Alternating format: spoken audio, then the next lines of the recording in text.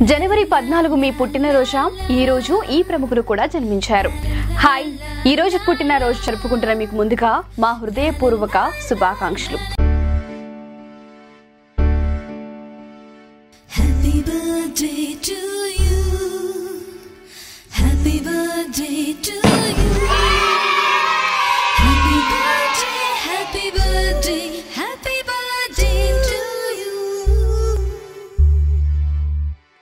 ఈ రోజు మీకు ఎంతో ఆనందకరమైన రోజు అని ప్రత్యేకంగా గడుపుతారు అని మాకు తెలుసు.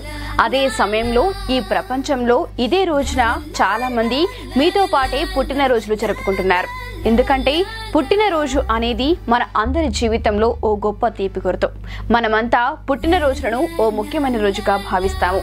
అలాగే మన అమ్మా నాన్న సైతం ఈ రోజును మనతో పాటు సెలబ్రేట్ చేస్తూ ఉంటారు. ఈ భూప్రపంచంలో మానవ జన్మకున్న సార్థకత అలాంటిది. దానిని పొందడం కూడా ఒక అదృష్టమే. అందుకే మనం ఈ లోకంలోకి వచ్చిన ఈ రోజుని మనకు ఇష్టమైన వారితో గడపాలని భావిస్తాం. అందులో భాగంగానే మన బంధువులు స్నేహితుల పుట్టినరోజు వేడుకలను మనం కూడా పాల్గొంటాం. వారికి శుభాకాంక్షలు తెలియజేస్తాం. అంతేనా? ఈరోజు మీతో పాటు ఇంకెవరు పుట్టారనే ఇంట్రెస్ట్ ఖచ్చితంగా మీకు ఉంటుంది. అయితే చిత్రం ఏమిటంటే మీతో పాటు ఈ రోజున చాలా మంది ప్రముఖులు పుట్టారు. వాళ్ళెవరో తెలుసుకుంటే వాళ్ళతో పాటు మీరు కూడా పుట్టినరోజు సెలబ్రేట్ చేసుకుంటున్నందుకు మీరు గర్వపడతారు. ఈ రోజున పుట్టిన వారి గొప్పతనం తెలుసుకుంటే మీరు ఖచ్చితంగా మీతో మీరు మరింతగా ప్రేమలో పడతారు. శోభన్ బాబు.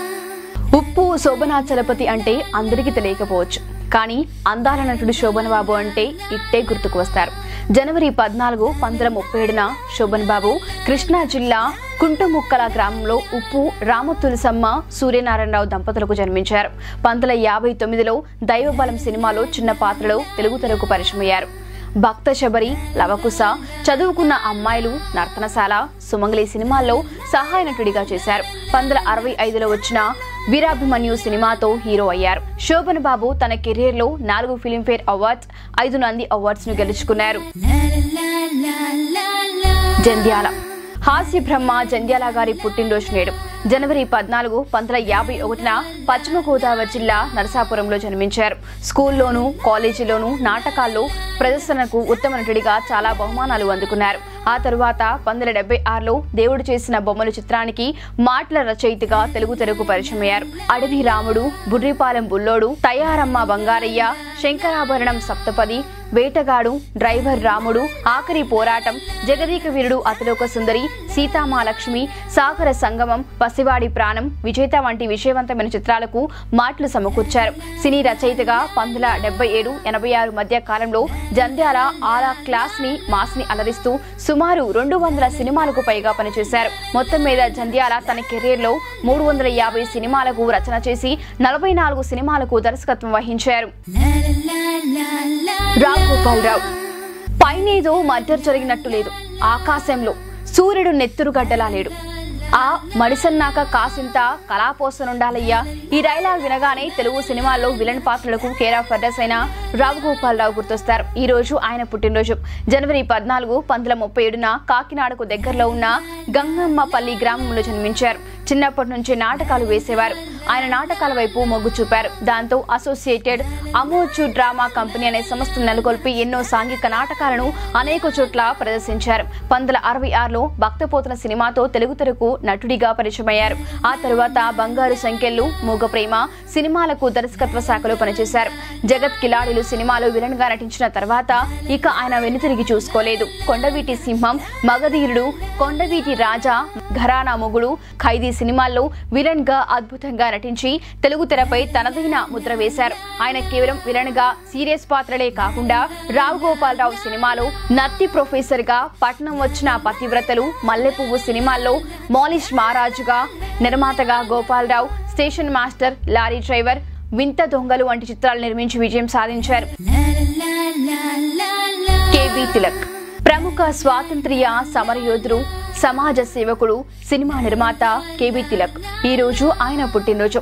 జనవరి పద్నాలుగు పంతొమ్మిది ఇరవై ఆరులో పశ్చిమ గోదావరి జిల్లా ఏలూరు దగ్గరున్న దెందులూరు గ్రామంలో జన్మించారు. స్వతంత్ర పోరాటంలో పాల్గొని జైలుకు కూడా వెళ్ళారు ఆ తరువాత సినిమాల్లోకి వచ్చి అంతా మనవాళ్ళే రోజులు మారాయి. సినిమాలకు ఎడిటర్గా పనిచేశారు. తానే నిర్మాత. దర్శకుడిగా తొలి ప్రయత్నంగా ముద్దుబిడ్డ చిత్రాన్ని నిర్మించారు. చలనచిత్ర పరిశ్రమకి తిలక్ చేసిన సేవలను గుర్తిస్తూ ఆయనకు భారత ప్రభుత్వం బిఎన్ రెడ్డి జాతీయ అవార్డును ప్రదానం చేసింది. దుర్గా ఖోటే తొలితరం హిందీ మరాఠీ చలనచిత్ర కథానాయిక క్యారెక్టర్ నటి రంగస్థల నాయిక దుర్గా కోటే ఈ రోజు పుట్టినరోజు. జనవరి పద్నాలుగు వందల ఐదున సంపన్న మహారాష్ట్రియన్ కుటుంబంలో దుర్గా కోటే గోవాలో జన్మించారు. పంతొమ్మిది ముప్పై రెండులో వచ్చిన మాయా మచ్చింద్ర అనే సినిమాలో తొలిసారి నటించింది. ఆ తరువాత తొలి మరాఠీ టాకీ చిత్రం అయోధ్యేచా రాజా సినిమాలో నటించారు.